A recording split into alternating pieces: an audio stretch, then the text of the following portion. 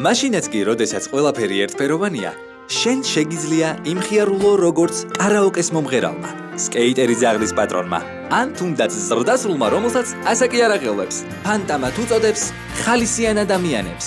მათი ცხოვრება სახალისოა, მათი გემრიელობები სახალისოა, მათი სასმელებიც სახალისოა. ჩვენ გვჭირდება მეტი ხალისიანი ადამიანი იმისთვის, რომ ერთფეროვნება დავამარცხოთ.